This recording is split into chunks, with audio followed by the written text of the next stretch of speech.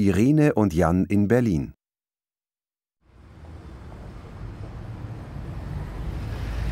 Was machen wir jetzt? Erstmal eine Pause. Bitte denk an meine Füße. Wir sind bestimmt schon 50 Kilometer gelaufen. Quatsch. Wir waren erst am Brandenburger Tor und jetzt am Hackischen Markt. Und auf dem Reichstag. Erinnerst du dich? Tja, mein Schatz, Berlin ist eben größer als Konstanz. Wir können eine Stadtrundfahrt machen. Oder hast du Lust auf eine Bootsfahrt? Auf der Spree kann man durch das alte Stadtzentrum fahren. Ich weiß nicht. Gehen wir lieber ins Museum. In welches? Ich schau mal im Stadtplan. Die Museumsinsel ist ganz in der Nähe. Die liegt gleich neben dem Hackischen Markt. Und was gibt es da? Da sind mehrere Museen. Oder wir gehen ins Historische Museum. Mir ist es egal.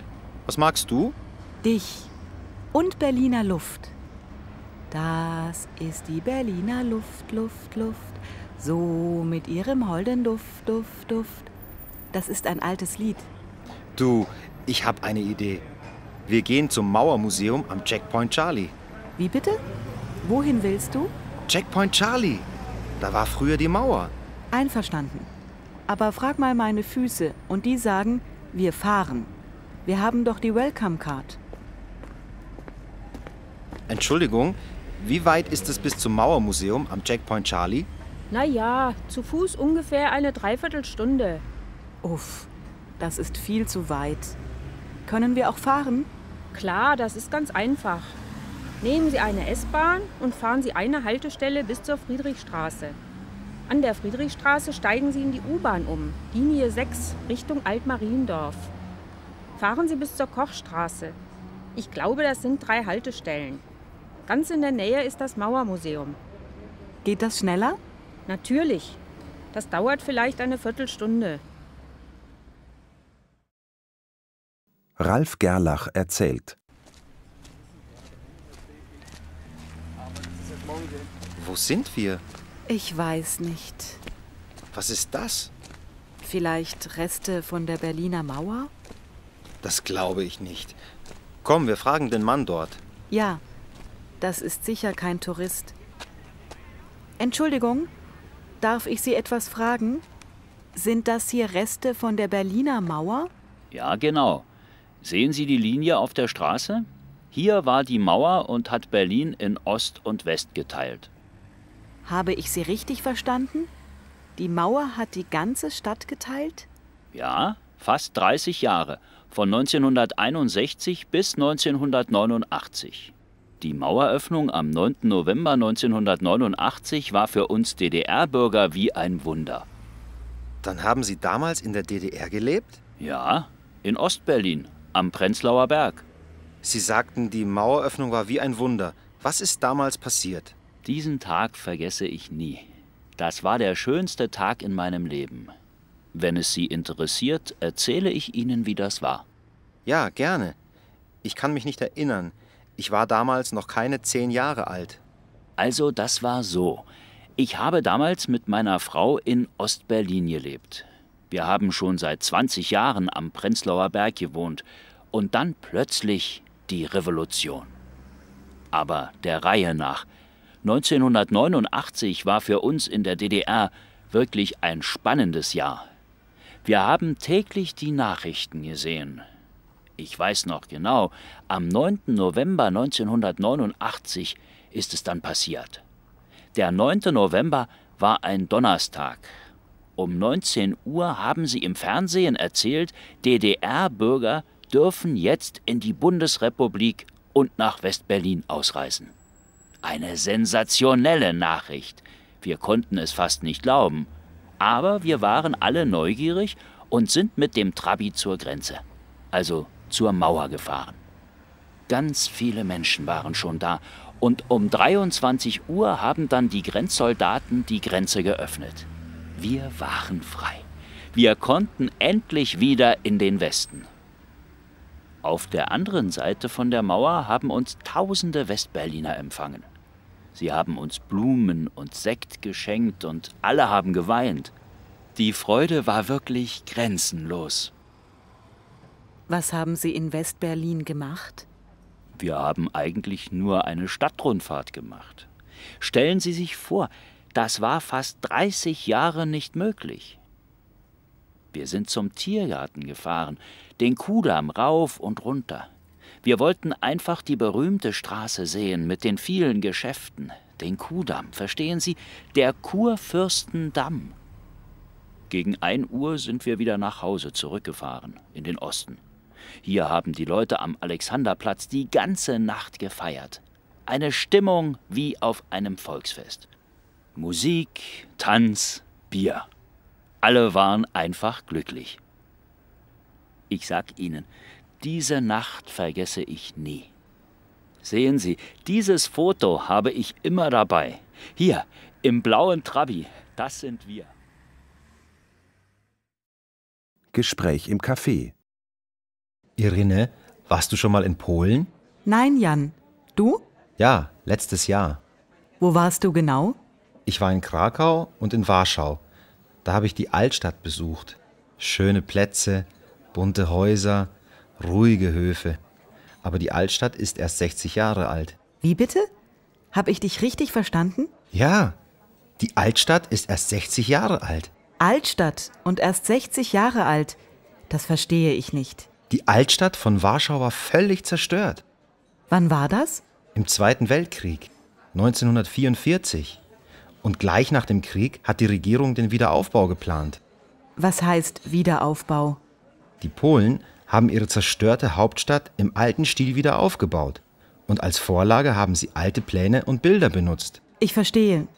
Die Polen haben die Altstadt von Warschau genauso aufgebaut, wie sie vor dem Krieg war, mit allen Details. Genau. Dann fahren wir nächstes Jahr nach Warschau. Staat und Politik. Es ist 18 Uhr, hier unser Nachrichtenüberblick. Bürgerkrieg nach den Wahlen. Staatsbesuch beim Königspaar. Neue Umweltgesetze. Bürgerkrieg nach den Wahlen. Nach den Wahlen ist die Lage ernst. Die alte Regierung ist geflohen und in der Hauptstadt schießt die Armee auf Demonstranten. Die Not in der Bevölkerung ist groß, denn es gibt kein Wasser und keine Nahrungsmittel. Niemand weiß, wie lange die Krise noch dauert. Staatsbesuch beim Königspaar. Bei seinem Staatsbesuch hat der Präsident führende Regierungsvertreter getroffen. In Gesprächen über Politik, Kultur und Wirtschaft sprach man vor allem über zwei Themen gegenseitige Hilfe und den Frieden in der Welt. Zum Abschluss seiner Reise besuchte der Präsident das Königspaar. Neue Umweltgesetze. Bei der Umweltkonferenz haben Politiker aus allen Parteien die aktuellen Probleme diskutiert. Dazu ein Politiker von den Grünen, wenn wir nicht bald vernünftige Gesetze machen, gibt es eine Katastrophe. Die Luftverschmutzung wird immer schlimmer, aber wir suchen nach Lösungen. Grafik und Text vergleichen. Kannst du mir helfen? Was heißt das? Von der Großfamilie zur Kleinfamilie. Das ist ganz einfach. Sieh dir die Grafik an. Links, das war im Jahr 1960 und da gehören viele Leute zu einer Familie. Und rechts, das ist heute. Da sind die Familien viel kleiner. Und was heißt das? Von je 100 Haushalten in der Schweiz bestanden aus? Lies einfach weiter. Von je 100 Haushalten bestanden 1960 14 Haushalte aus einer Person. Das ist ganz einfach. Du hast 100 Haushalte. Von diesen 100 Haushalten gab es in 14 Haushalten nur eine Person. Und im Jahr 2000 sind es schon 36 von 100 Haushalten, die nur aus einer Person bestehen. 36 von 100 Haushalten. Ist das nicht gleich wie 36 Prozent? Ja, genau. In 36 Prozent Haushalten lebt nur eine Person. Warum sagst du das nicht gleich? Prozent ist doch viel einfacher, das kenne ich. Aber was heißt das? Vor etwa 50 Jahren hatte noch jeder fünfte Haushalt fünf oder mehr Personen. Wenn du fünf Haushalte hast, dann gibt es in einem von diesen fünf Haushalten fünf oder mehr Personen. 1960 war jede fünfte Familie groß. Genau 21 Prozent. Ah, jetzt verstehe ich. Große Familien gibt es heute fast nicht mehr. Es gibt 36 Prozent Haushalte mit einer Person und 32 Prozent Haushalte mit zwei Personen. Genau, und im Jahr 2000 gibt es 13 Prozent Haushalte mit drei und vier Personen. Früher waren das auch viel mehr. Ja, stimmt, aber warum sind die Familien kleiner geworden? Was glaubst du? Zuerst einmal, es gibt viele Frauen, die einen Beruf haben und arbeiten. Und das geht nicht so gut, wenn man viele Kinder hat. Da ist die Frau meistens nur Hausfrau. Und es gibt mehr Scheidungen. Deshalb gibt es viele alleinerziehende Eltern, also auch kleine Haushalte. Und heute kann man die Familie auch besser planen. Es gibt Verhütungsmittel. Deshalb sind die Familien nicht mehr so groß. Generationen. Wer steht denn da hinter dir? Ist das deine Oma? Ja, und neben mir, das ist Katharina, meine beste Freundin. Sind deine Eltern auch auf dem Foto? Ja, die Mama steht neben der Oma und meinen Papa sieht man nicht gut. Der steht ganz hinten, der Mann mit der Brille. Hast du keine Geschwister? Doch, Laura ist meine Schwester. Da, mit dem Finger im Mund. Und hast du auch einen Großvater? Nein, mein Opa lebt nicht mehr. Ach, wie schade. Ja. Und wer ist dann noch auf dem Foto? Da sind meine Cousinen, Eva und Barbara, einfach alle. Und die Cousins, Philipp und Johnny und Elias. Und wer ist der Mann mit dem Bart? Das ist Onkel Hubert. Das ist bestimmt Ihre Familie. Wer ist denn da drauf? Ja, also, da sind meine vier Kinder mit ihren Partnern. Und natürlich sind da die Enkel, alle außer Michael. Der ist nicht auf dem Foto. Rechts von Ihnen die Frau mit der Brille. Ist das eine Tochter? Nein, das ist die Frau von Max, meine Schwiegertochter. Aber links von mir, das ist meine Tochter Ingrid. Und die andere Tochter ist die hier mit dem Schal. Das ist Regina. Sie ist die älteste. Und Ihre beiden Söhne? Wo sind die? Martin hält den kleinen Elias und Max steht ganz hinten mit der Brille. Das ist der jüngste. Wann war das? Das war bei meinem 80. Geburtstag. Da hat man dieses Foto von meiner Familie gemacht. Alle Kinder und Enkel waren da. Nur Michael fehlt. Freunde und Bekannte vorstellen. Kennt ihr euch? Nein, noch nicht. Das ist Lisa, meine Schwester, die ein paar Tage zu Besuch ist. Und das ist Johanna, eine Nachbarin und Kollegin von mir.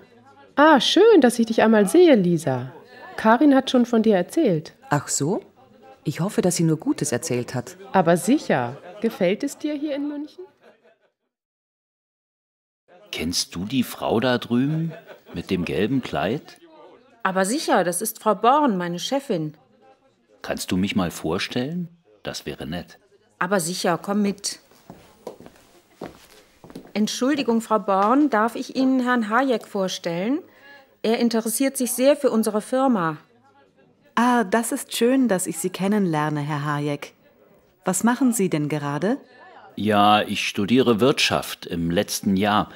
Und ich kenne Frau Frisch und sie hat mir schon oft von ihrer Arbeit erzählt. Ich lasse Sie mal alleine. Ist gut, Frau Frisch. Danke. Sind Sie aus Berlin, Herr Hayek? Ja, hört man das? Interview mit Michelle Schneider. Frau Schneider. Ich bin die Michelle. Wir duzen uns hier.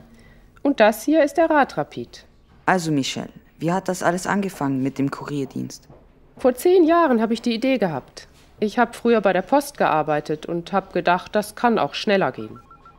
Ich habe mit meiner Freundin zusammen bei der Post aufgehört und neu angefangen. Sie hat ein Nähatelier aufgemacht und ich den Radrapid. Ein Raum, ein Telefon und ein Fahrrad. Am Anfang waren wir nur zwei Leute und heute sind wir zwölf. Einige arbeiten fünf Tage, viele nur zwei oder drei Tage in der Woche. Ein idealer Job für Studenten und Studentinnen. Mona zum Beispiel arbeitet seit zwei Jahren bei uns. Leider hört sie bald auf, weil sie nach Italien zurückgeht. Und was muss man können, wenn man in dieser Firma arbeiten will? Wichtig bei dieser Arbeit ist Teamfähigkeit und Flexibilität. Und natürlich müssen die Mitarbeiter und Mitarbeiterinnen freundlich sein. Aber man muss auch unter Stress arbeiten, das kommt oft vor. Und wie sieht es mit dem Geld aus? Wir zahlen gut, wir zahlen besser als die Konkurrenz. Frag doch mal die Mitarbeiter und Mitarbeiterinnen. Und die Zukunft? Ich glaube, diese Art von Arbeit hat Zukunft. Verschiedene Jobs und verschiedene Ausbildungen. Das ist die Zukunft.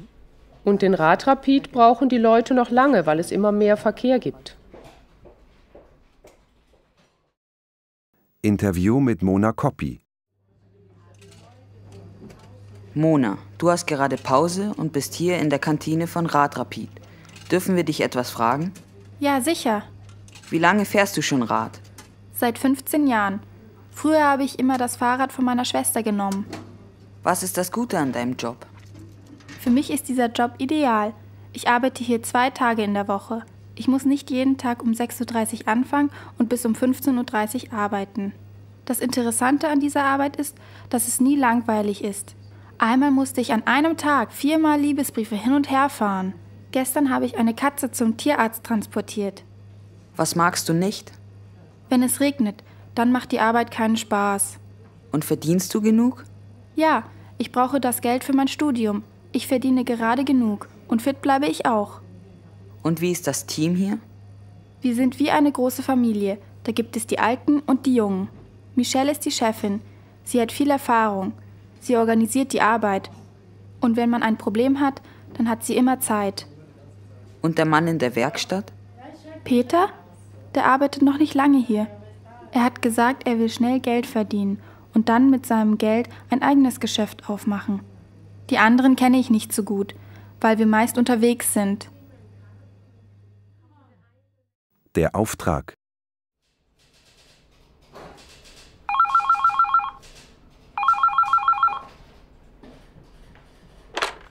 Guten Tag. Radrapid, Michelle Schneider. Was kann ich für Sie tun? Werbeagentur Advice, Felix Hammer. Wir haben hier Dokumente. Sie müssen in einer Stunde bei unserem Kunden sein. Das ist das Reisebüro Mondo. Kein Problem. Ich möchte aber noch ein paar Angaben haben. Gern. Wie ist Ihre Adresse? Kantstraße 45. Im Erdgeschoss? Nein, wir sind im zweiten Stock. Und wo müssen die Dokumente hin? Zum Reisebüro Mondo, Fichtestraße 20. Nummer 20, gut. Wir kommen zwischen 8 Uhr und 8.30 Uhr bei Ihnen vorbei. Das ist okay. Und die Dokumente sind spätestens um 8.45 Uhr im Reisebüro. Wunderbar. Unter welcher Nummer kann man Sie erreichen? 303 81 50. Gut. Und noch eine letzte Frage. Wer bezahlt? Sie oder der Kunde? Das zahlen wir. Schön. Ich danke Ihnen und auf Wiederhören, Herr Hammer. Auf Wiederhören. Mona weiß nicht weiter.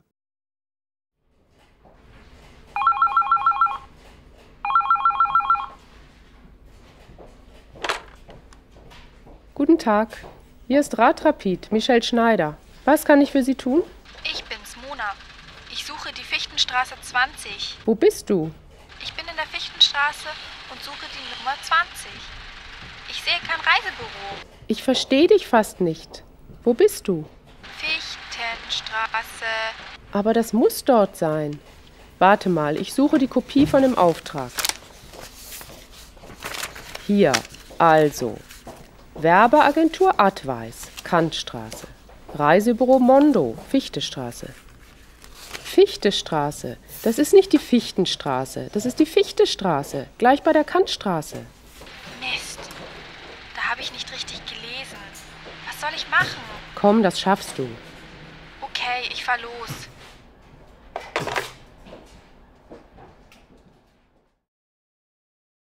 Bild 1.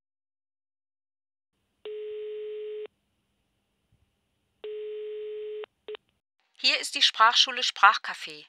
Wir sind umgezogen. Unser Büro ist heute leider geschlossen. Unsere neue Adresse ist Landstraße 521 603 86 Frankfurt am Main. Morgen können Sie uns unter dieser Nummer erreichen. 069 219 67 545. Aus dem Ausland wählen Sie die Vorwahl 0049 und dann 69. Unser Büro ist von 8.30 Uhr bis 12 Uhr und von 14 Uhr bis 16.30 Uhr geöffnet. Nach dem Pfeifton können Sie uns eine Mitteilung hinterlassen. Wir danken Ihnen für Ihren Anruf. Bild 2 Hallo, hier ist Felix Hartmann von der Firma Dust AG. Wir sollen bei Ihnen einen neuen Computer und einen Drucker installieren. Wir haben uns für morgen um 16 Uhr verabredet. Leider kann ich aber da nicht kommen. Geht es vielleicht auch später, zum Beispiel um 18 Uhr? Wenn ich von Ihnen nichts höre, komme ich also morgen um 18 Uhr. Wenn es Ihnen nicht passt, dann rufen Sie mich doch bitte an. Meine Nummer ist 071 371 7899. Tschüss und bis morgen. Franz Prodi erzählt. Mein Großvater war Bauer und Bauarbeiter. Meine Großmutter war Bäuerin und Hausfrau. Sie hatten acht Kinder. Meine Mutter hat eine Lehre gemacht. Sie hat als Verkäuferin gearbeitet, bis die Kinder gekommen sind. Dann ist sie zu Hause geblieben.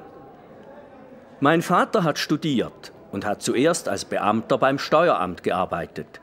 Und später hat er sich als Anwalt selbstständig gemacht.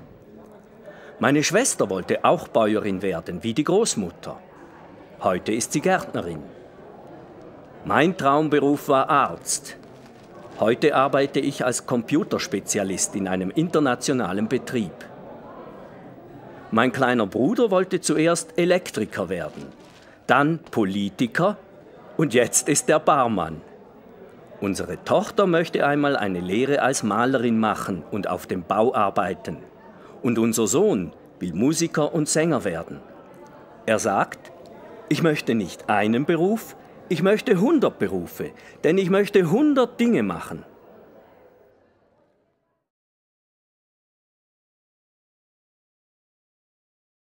Irene und Jan in Berlin.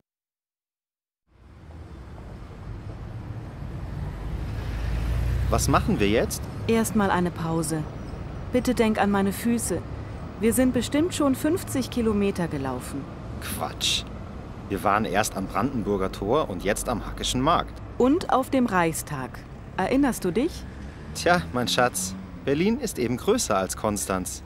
Wir können eine Stadtrundfahrt machen. Oder hast du Lust auf eine Bootsfahrt? Auf der Spree kann man durch das alte Stadtzentrum fahren. Ich weiß nicht. Gehen wir lieber ins Museum. In welches? Ich schau mal im Stadtplan. Die Museumsinsel ist ganz in der Nähe. Die liegt gleich neben dem Hackischen Markt. Und was gibt es da? Da sind mehrere Museen. Oder wir gehen ins Historische Museum. Mir ist es egal. Was magst du? Dich. Und Berliner Luft. Das ist die Berliner Luft, Luft, Luft. So mit ihrem holden Duft, Duft, Duft. Das ist ein altes Lied. Du, ich habe eine Idee. Wir gehen zum Mauermuseum am Checkpoint Charlie. Wie bitte? Wohin willst du? Checkpoint Charlie. Da war früher die Mauer. Einverstanden. Aber frag mal meine Füße und die sagen, wir fahren. Wir haben doch die Welcome Card. Entschuldigung, wie weit ist es bis zum Mauermuseum am Checkpoint Charlie? Na ja, zu Fuß ungefähr eine Dreiviertelstunde. Uff, das ist viel zu weit. Können wir auch fahren? Klar, das ist ganz einfach. Nehmen Sie eine S-Bahn und fahren Sie eine Haltestelle bis zur Friedrichstraße. An der Friedrichstraße steigen Sie in die U-Bahn um, Linie 6, Richtung Altmariendorf. Fahren Sie bis zur Kochstraße. Ich glaube, das sind drei Haltestellen. Ganz in der Nähe ist das Mauermuseum. Geht das schneller? Natürlich. Das dauert vielleicht eine Viertelstunde. Ralf Gerlach erzählt. Wo sind wir? Ich weiß nicht. Was ist das? Vielleicht Reste von der Berliner Mauer? Das glaube ich nicht. Komm, wir fragen den Mann dort. Ja, das ist sicher kein Tourist. Entschuldigung, darf ich Sie etwas fragen? Sind das hier Reste von der Berliner Mauer? Ja, genau. Sehen Sie die Linie auf der Straße? Hier war die Mauer und hat Berlin in Ost und West geteilt. Habe ich Sie richtig verstanden? Die Mauer hat die ganze Stadt geteilt? Ja, fast 30 Jahre, von 1961 bis 1989. Die Maueröffnung am 9. November 1989 war für uns DDR-Bürger wie ein Wunder.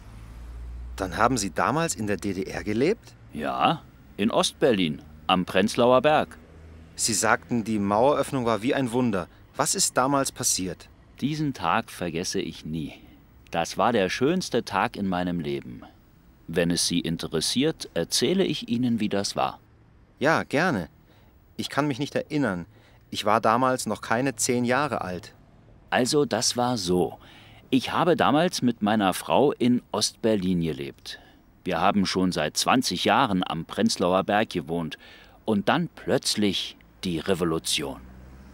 Aber der Reihe nach. 1989 war für uns in der DDR wirklich ein spannendes Jahr.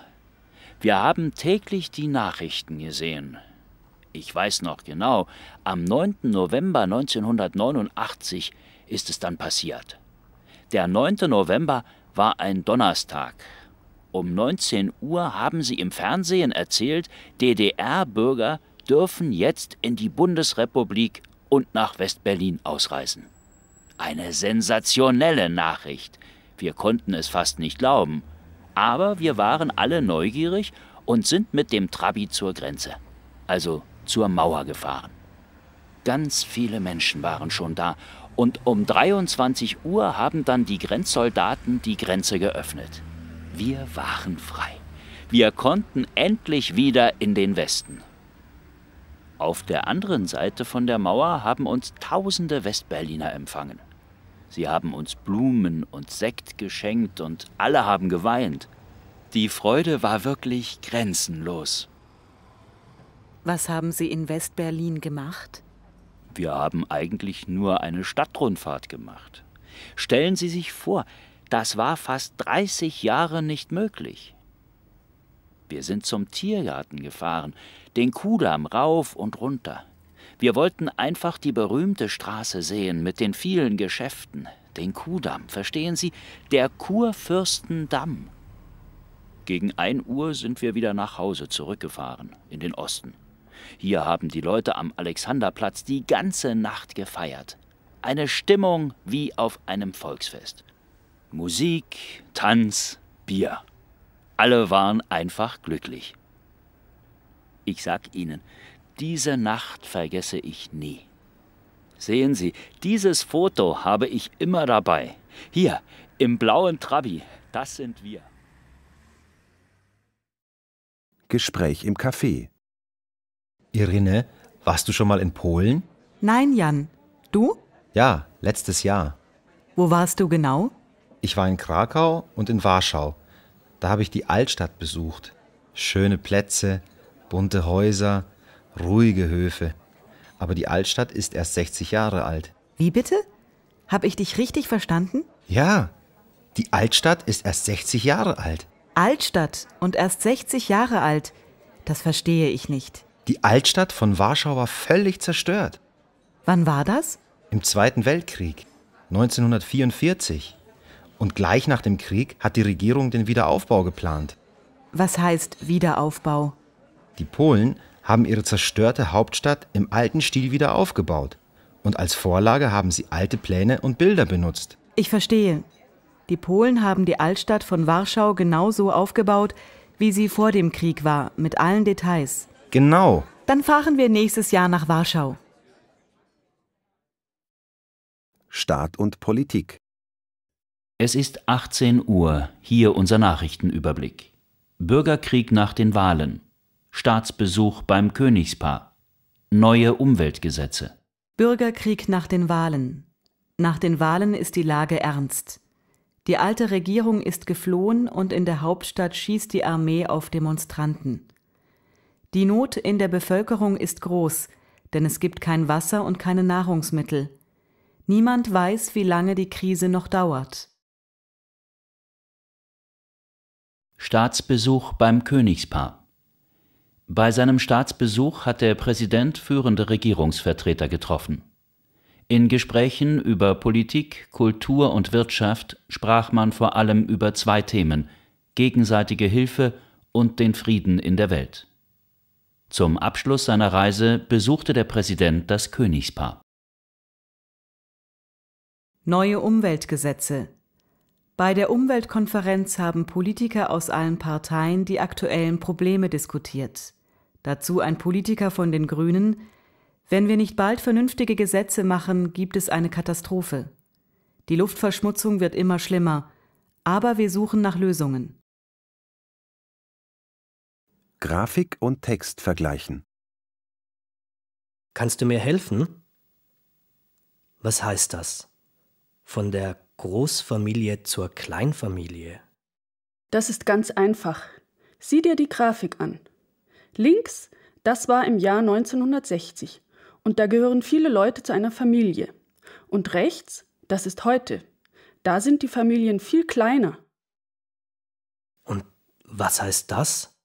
Von je 100 Haushalten in der Schweiz bestanden aus? Lies einfach weiter. Von je 100 Haushalten bestanden 1960 14 Haushalte aus einer Person. Das ist ganz einfach. Du hast 100 Haushalte. Von diesen 100 Haushalten gab es in 14 Haushalten nur eine Person. Und im Jahr 2000 sind es schon 36 von 100 Haushalten, die nur aus einer Person bestehen. 36 von 100 Haushalten. Ist das nicht gleich wie 36 Prozent? Ja, genau. In 36 Prozent Haushalten lebt nur eine Person. Warum sagst du das nicht gleich? Prozent ist doch viel einfacher, das kenne ich. Aber was heißt das? Vor etwa 50 Jahren hatte noch jeder fünfte Haushalt fünf oder mehr Personen. Wenn du fünf Haushalte hast, dann gibt es in einem von diesen fünf Haushalten fünf oder mehr Personen. 1960 war jede fünfte Familie groß, genau 21 Prozent. Ah, jetzt verstehe ich. Große Familien gibt es heute fast nicht mehr. Es gibt 36 Prozent Haushalte mit einer Person und 32 Prozent Haushalte mit zwei Personen. Genau, und im Jahr 2000 gibt es 13 Prozent Haushalte mit drei und vier Personen. Früher waren das auch viel mehr. Ja, stimmt, aber warum sind die Familien kleiner geworden? Was glaubst du? Zuerst einmal, es gibt viele Frauen, die einen Beruf haben und arbeiten. Und das geht nicht so gut, wenn man viele Kinder hat. Da ist die Frau meistens nur Hausfrau. Und es gibt mehr Scheidungen. Deshalb gibt es viele alleinerziehende Eltern, also auch kleine Haushalte. Und heute kann man die Familie auch besser planen. Es gibt Verhütungsmittel. Deshalb sind die Familien nicht mehr so groß. Generationen. Wer steht denn da hinter dir? Ist das deine Oma?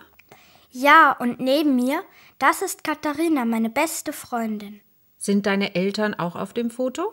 Ja, die Mama steht neben der Oma und meinen Papa sieht man nicht gut. Der steht ganz hinten, der Mann mit der Brille. Hast du keine Geschwister? Doch, Laura ist meine Schwester. Da, mit dem Finger im Mund. Und hast du auch einen Großvater? Nein, mein Opa lebt nicht mehr. Ach, wie schade. Ja. Und wer ist dann noch auf dem Foto? Da sind meine Cousinen, Eva und Barbara, einfach alle. Und die Cousins, Philipp und Johnny und Elias. Und wer ist der Mann mit dem Bart? Das ist Onkel Hubert. Das ist bestimmt Ihre Familie. Wer ist denn da drauf? Ja, also, da sind meine vier Kinder mit ihren Partnern. Und natürlich sind da die Enkel, alle außer Michael. Der ist nicht auf dem Foto. Rechts von Ihnen die Frau mit der Brille. Ist das eine Tochter? Nein, das ist die Frau von Max, meine Schwiegertochter. Aber links von mir, das ist meine Tochter Ingrid. Und die andere Tochter ist die hier mit dem Schal. Das ist Regina. Sie ist die älteste. Und Ihre beiden Söhne? Wo sind die? Martin hält den kleinen Elias und Max steht ganz hinten mit der Brille. Das ist der jüngste. Wann war das? Das war bei meinem 80. Geburtstag. Da hat man dieses Foto von meiner Familie gemacht. Alle Kinder und Enkel waren da, nur Michael fehlt. Freunde und Bekannte vorstellen. Kennt ihr euch? Nein, noch nicht. Das ist Lisa, meine Schwester, die ein paar Tage zu Besuch ist. Und das ist Johanna, eine Nachbarin und Kollegin von mir. Ah, schön, dass ich dich einmal sehe, Lisa. Karin hat schon von dir erzählt. Ach so? Ich hoffe, dass sie nur Gutes erzählt hat. Aber sicher. Gefällt es dir hier in München? Kennst du die Frau da drüben mit dem gelben Kleid? Aber sicher, das ist Frau Born, meine Chefin. Kannst du mich mal vorstellen? Das wäre nett. Aber sicher, komm mit. Entschuldigung, Frau Born, darf ich Ihnen Herrn Hayek vorstellen? Er interessiert sich sehr für unsere Firma.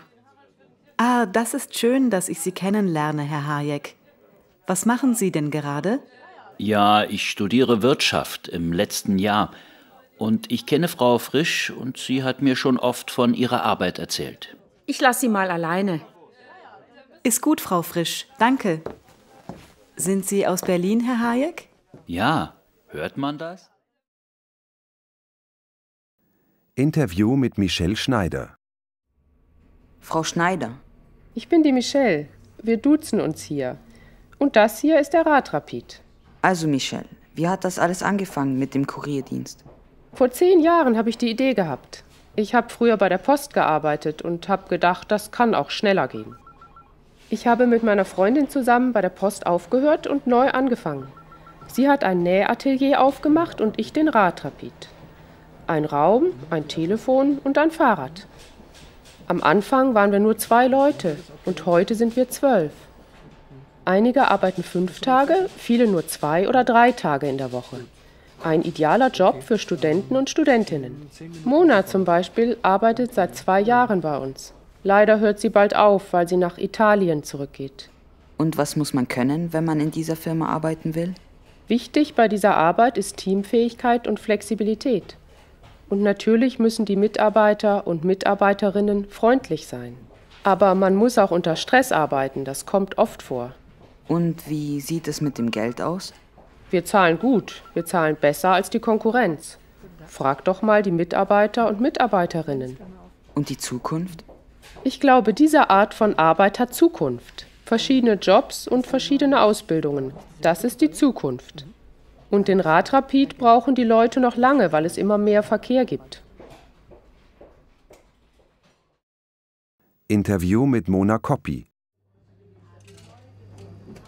Mona, du hast gerade Pause und bist hier in der Kantine von Radrapid. Dürfen wir dich etwas fragen? Ja, sicher. Wie lange fährst du schon Rad? Seit 15 Jahren. Früher habe ich immer das Fahrrad von meiner Schwester genommen. Was ist das Gute an deinem Job? Für mich ist dieser Job ideal. Ich arbeite hier zwei Tage in der Woche. Ich muss nicht jeden Tag um 6.30 Uhr anfangen und bis um 15.30 Uhr arbeiten. Das Interessante an dieser Arbeit ist, dass es nie langweilig ist. Einmal musste ich an einem Tag viermal Liebesbriefe hin und her fahren. Gestern habe ich eine Katze zum Tierarzt transportiert. Was magst du nicht? Wenn es regnet, dann macht die Arbeit keinen Spaß. Und verdienst du genug? Ja, ich brauche das Geld für mein Studium. Ich verdiene gerade genug und fit bleibe ich auch. Und wie ist das Team hier? Wir sind wie eine große Familie. Da gibt es die Alten und die Jungen. Michelle ist die Chefin. Sie hat viel Erfahrung. Sie organisiert die Arbeit. Und wenn man ein Problem hat, dann hat sie immer Zeit. Und der Mann in der Werkstatt? Peter? Der arbeitet noch nicht lange hier. Er hat gesagt, er will schnell Geld verdienen und dann mit seinem Geld ein eigenes Geschäft aufmachen. Die anderen kenne ich nicht so gut, weil wir meist unterwegs sind. Der Auftrag.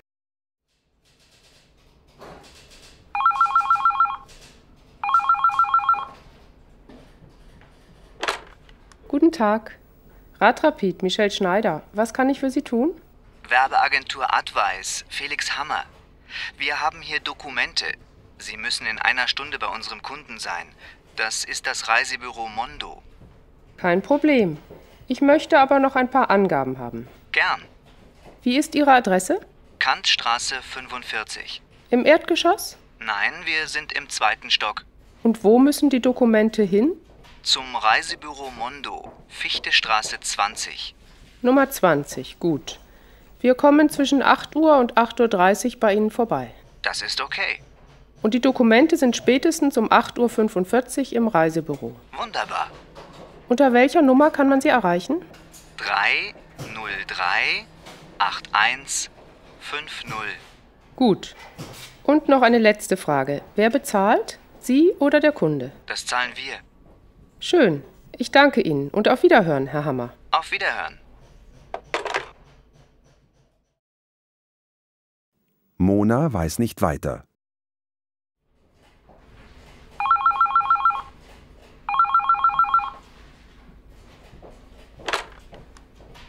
Guten Tag. Hier ist Radrapid, Michelle Schneider. Was kann ich für Sie tun? Ich bin's, Mona. Ich suche die Fichtenstraße 20. Wo bist du? Ich bin in der Fichtenstraße und suche die Nummer 20. Ich sehe kein Reisebüro. Ich verstehe dich fast nicht. Wo bist du? Fichtenstraße. Aber das muss dort sein.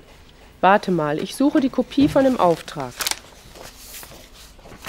Hier, also. Werbeagentur Adweis, Kantstraße. Reisebüro Mondo, Fichtestraße.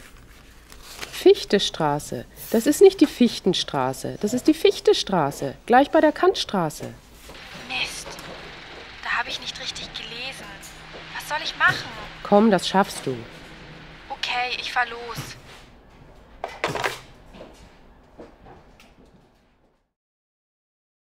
Bild 1